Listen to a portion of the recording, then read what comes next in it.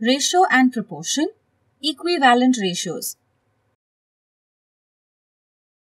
We have learnt about equivalent fractions already. Let's revise it and see what the equivalent ratios are.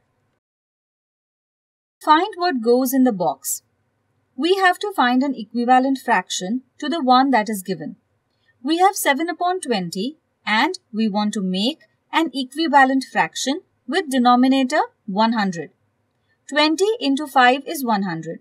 Whatever we do to the denominator, we have to do to the numerator. So we multiply the numerator by 5 which gives us 35. The equivalent fraction is 35 upon 100. Let us do another one.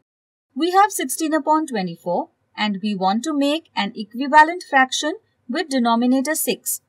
Here we have to divide 24 divided by 4 is 6. Whatever we do to the denominator, we have to do to the numerator. So we divide the numerator by 4 which gives us 4. The equivalent fraction is 4 upon 6. Here is one more. We have 12 upon 25 and we want to make an equivalent fraction with numerator 36. 12 into 3 is 36. Whatever we do to the numerator, we have to do to the denominator. So we multiply the denominator by 3 2 which gives us 75. So the equivalent fraction is 36 upon 75. Try this one.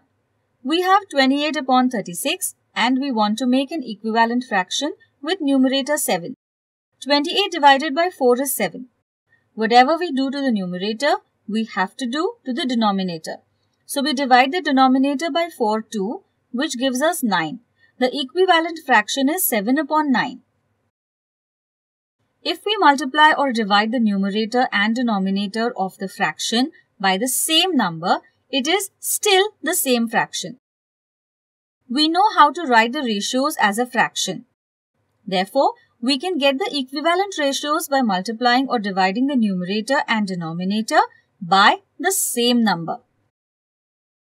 Write the equivalent ratios of 2 is to 7. We can get the equivalent ratios by multiplying or dividing the numerator and denominator by the same number. 2 is to 7 can also be written as 2 upon 7. We multiply both the numerator and denominator by 3 and we get 6 upon 21. Therefore, 6 is to 21 is an equivalent ratio of 2 is to 7.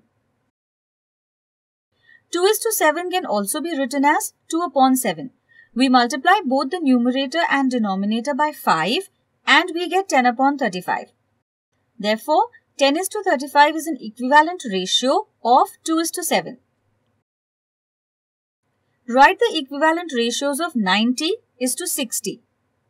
We can get the equivalent ratios by multiplying or dividing the numerator and denominator by the same number.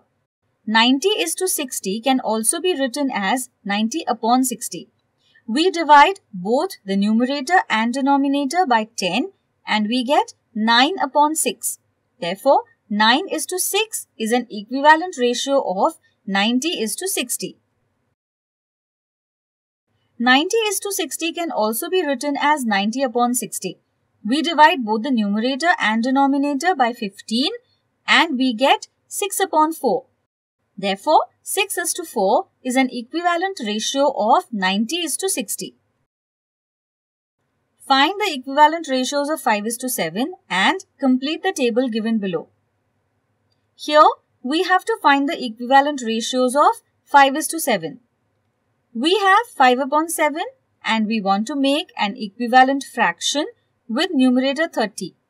5 into 6 is 30. Whatever we do to the numerator, we have to do to the denominator. So we multiply the denominator by 6 2, which gives us 42. The equivalent fraction is 30 upon 42. Now, we have 5 upon 7 and we want to make an equivalent fraction with denominator 63. 7 into 9 is 63. Whatever we do to the denominator, we have to do to the numerator. So we multiply the numerator by 9, 2, which gives us 45. So the equivalent fraction is 45 upon 63. Now we have 5 upon 7 and we want to make an equivalent fraction with numerator 15. 5 into 3 is 15. Whatever we do to the numerator, we have to do to the denominator. So we multiply the denominator by 3 2, which gives us 21. So the equivalent fraction is 15 upon 21. Can you now make equivalent ratios? Yes.